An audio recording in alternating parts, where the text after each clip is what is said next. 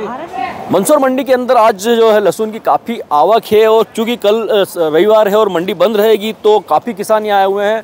पूरी जो मंडी है वो सफ़ेद चांदी की तरह नज़र आ रही है। हमारे साथ में व्यापारी है आज।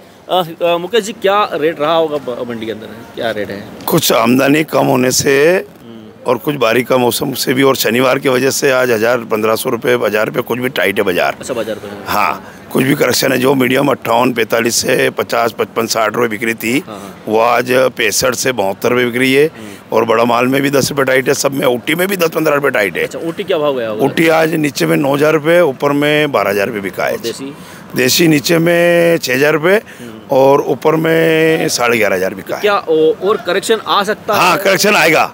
अगर लिमिट में माल आएगा तो करेक्शन आएगा और लिमिट से बाहर जाएगा तो करेक्शन नहीं आएगा। अच्छा। और फ्लो माल नहीं होना किसान रुक के माल लाएगा धीरे धीरे लाएगा तो पैसा अच्छा आएगा। अगर एकदम से बल्क में माल आएगा तो ये मान के चले कीमत घट जाएगी घट जाएगी हो जाएगी। बिल्कुल सही है।